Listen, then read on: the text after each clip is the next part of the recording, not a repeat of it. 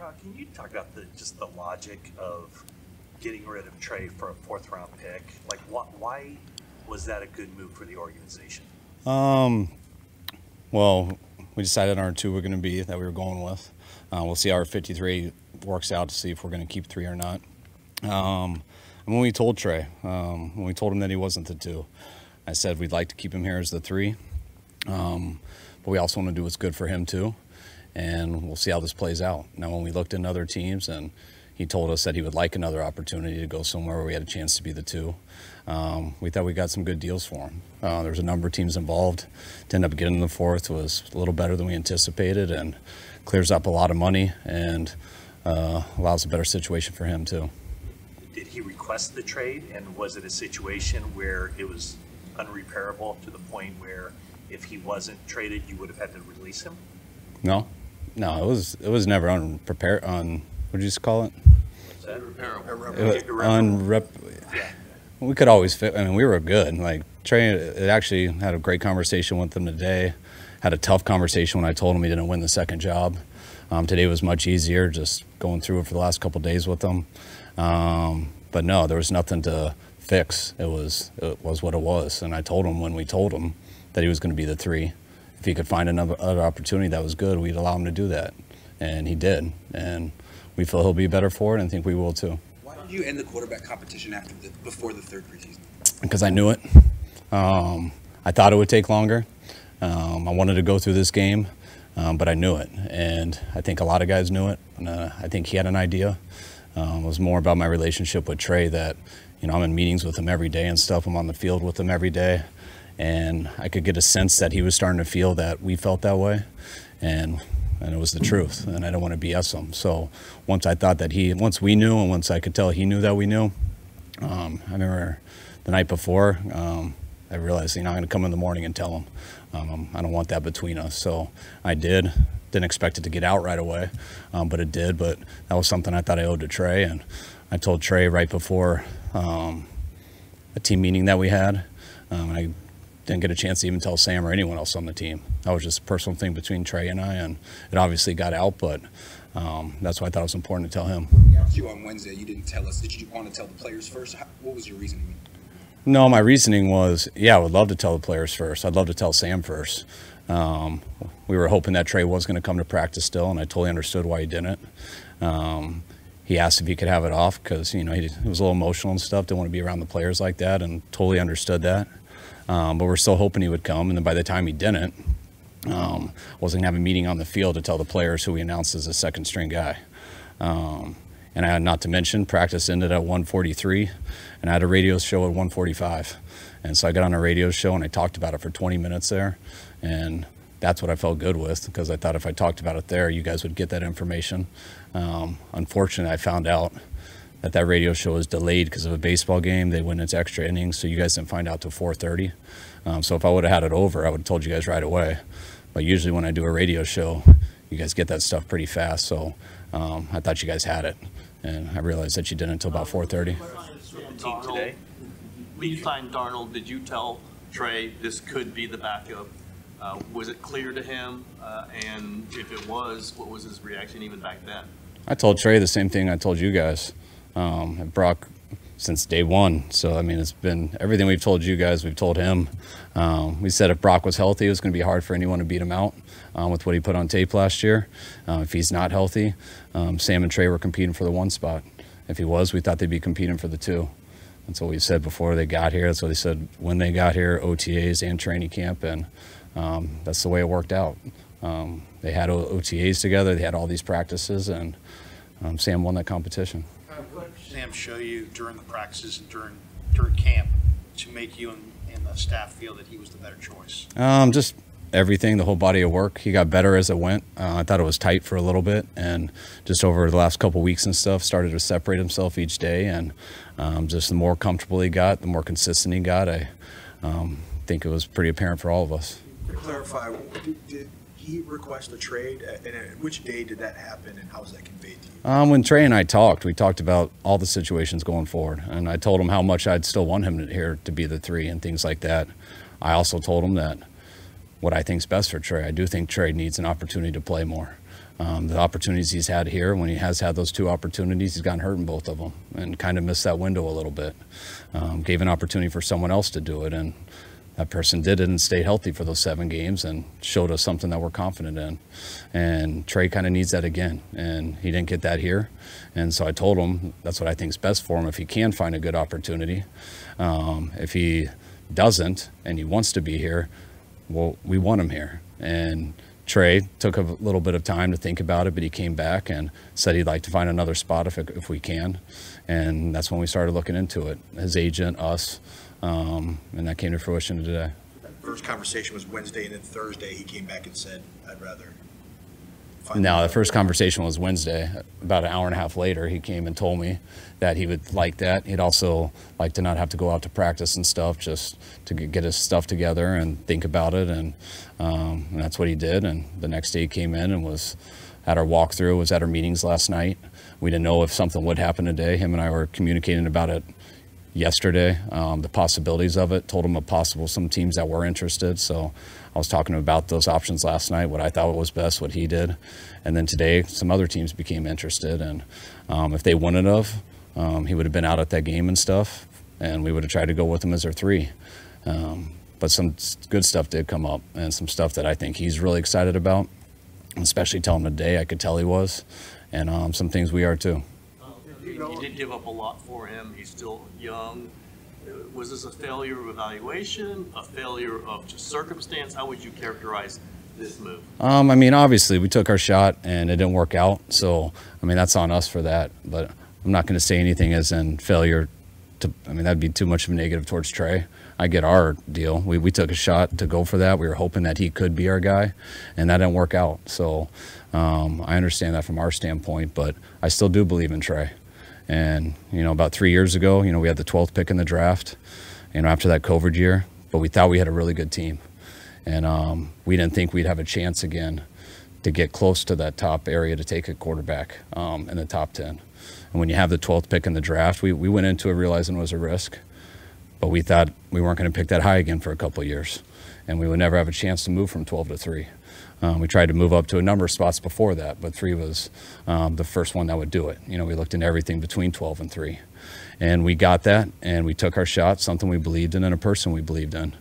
Um, was hoping he could play more his first year. We knew he wouldn't come in and just take it over from Jimmy, but we were hoping to mix it in and kind of give him some experience. But once he broke the finger and stuff, it, it just got tougher for him as time went. Um, we knew we'd commit to him the next year, which we did.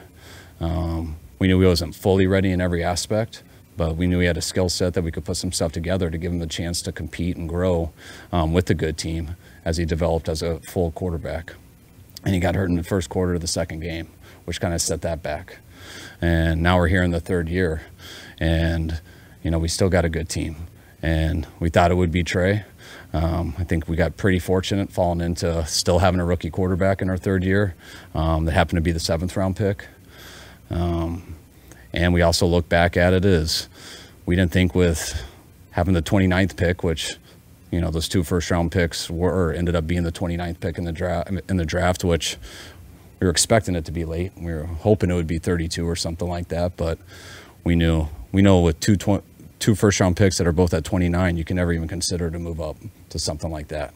And so we had to act then, and we did. Didn't work out, which can be a huge challenge, but um, that's why we feel pretty fortunate what we fell into. Was Trey, was, was Trey able to go over the options with you this morning before you accepted the trade? And then how did you convey that to the team? Um, I just told the team that to just, I told them after the, the deal, just, you know, anytime you trade a quarterback and things like that, I mean, all those guys are going through some similar stuff. I'm going to have a lot of tough conversations with a lot of guys over these next few days. Um, but I always told them the circumstances are different when it's under this magnitude, someone, a quarterback position, someone who was drafted like him. So I just told them that's, that's not up, that's, that's up for John and I to decide. I hope they trust us with what's best for the team, but they just got to be prepared for those questions and stuff, which they're not going to know much about. One, one non-QB question. What's the status of, of Jake Moody and, and how long is he going to be out? That's week to week right now. Or we're hoping that he can have a chance for week one. Um, he ended up straining his quad um, last week um, in practice, and we'll see how his body reacts to it. With, with Zane's injury, does that that mean you have to look at, at other kickers? Uh, we most likely got to, and we definitely got to have a plan B for week one. You know, Zane could have been that, but uh, you know he's probably not going to be ready for week one too. Looking at what happened to him today. A couple days, Kyle, you did say it, ten days ago, it kind of, when it really clarified. You go back ten days from that, that was a Raider game. Was that kind of the defining moment for this decision? No, I didn't mean it that way. I mean, I didn't. I just threw out ten days. Today, I just said the last couple weeks. Um, you know, it's you know never you never make a decision off one day. You never make it off of one preseason game or anything like that. It's accumulation of work. I thought it was a lot tighter earlier on in camp. Um, I thought the more Sam got comfortable, the more reps he got, the more he started to separate himself, and uh, I think that's been over the last few couple weeks. Was there anything about the Trey Lance experience that you wish you had done differently? Um, you know, I mean, it's. I mean, I, I've, I always feel like I let Trey down. I mean, I wanted him to come here. I believe in Trey. I believed in him before we took him, and I'm responsible for that. Um, I didn't want to throw him into the heat of battle right away, but I thought he needed to play. So we tried to figure out every way to do that. I mean, if I can look back in hindsight, he broke that finger on a on a helmet on that fourth preseason game versus the Raiders. I, I wish I didn't put him in a play that had him break his finger because I think that really hurt him in his first year. And not only did it hurt him not getting able to mix in much, but it hurt him in the practice time because he had to adjust how he threw and things like that, which I think set him back for his second year. Um, when we went into the second year, we gave him every chance to do it. We were going to make an offense that, to me, gave him the best chance to be successful at that time, um, which we did do. And when you do that, you hope a guy can stay healthy so he can stay out there long enough. Um, but that didn't last long. It was the first game, and um, after that, I mean, I always felt for him, and we continue to work with him. Um, but sometimes things don't, just don't work out. Was there, an internal struggle about, he's still a young guy, he's twenty-three years old. Still has, he's only halfway through his rookie contract. Did you consider like just keeping him here to just to give him a chance to eventually be the guy that you thought you were getting when you drafted him? Um, yeah, we do consider that. I just think that was hard for us to do that um, with where we're at as a team, how much time we have given him, um, and the situation here where we gave him every chance to beat out Sam, um, and it just didn't happen. And when you look at it in that case, there's not much opportunities you can do on that practice field. There isn't a there's not a developmental league. There's not a whole field on the side where we can get our players just to practice to give him reps. Um, you got to get the one ready to go, and when you're not, it's hard enough to get the two ready to go. Um, the three is usually a guy who never gets a rep till he randomly gets out there, and that wasn't what I felt was right for Trey. And um, with how much we had done so far, and that wasn't going to be what was right for our team either. I thought it was time to move on for him and for us, and I'm well aware of everything that happened. And yeah, unfortunately, it did happen, but I like where our team's at too right now, and I feel very good about that. And I also feel very good that despite all that, just you know, you'd love to keep a third guy to develop, especially a guy that you really, really love um, and believe that he could do it someday. But to do that for seven million dollars um, over two years, with places where we are in the cap, when you can't provide those reps and stuff for people, um, and you got other things with our team, where we're doing, that to me doesn't make much sense for the Niners. I wish it would, because hell yeah, we'd love to just keep them until eventually it works out. But that clock ran out here, and that's why we had to make a real tough decision, one we didn't enjoy doing, one we didn't want to do. But we try to do what we think's best, and this is what we think's best. This one guy just came down to the fact that where you guys were as a team didn't align with what Trey needed to get where he was trying to go. Um, very much so. I mean, I, I, I do think there was a chance. We thought we were aligned as a team um, to win right away when we did it with him. Um, we knew it would take him time, but we also had to make a decision where we were going to go with our team over a two-year window, and we felt that our we felt if we could get a rookie quarterback or a guy on a rookie deal who could help us win, man, we could put a good team around him. And we took a shot with Trey because um, we believed he could. We knew it would take some time. But in the meantime, we were going to have a pretty good team. And the time that we did give him when he had his ops, he missed those. And those weren't his fault. They weren't our fault. They were just, those are, that's what happens in football. And when you take a risk on someone who does need to develop and does need some of that time, and then he misses that time, and we are where we're at right now, it is kind of what it is. And I think we are very fortunate that we did find a guy. We still are on we still have a rookie quarterback or a guy on a rookie deal that has helped us put together a good team.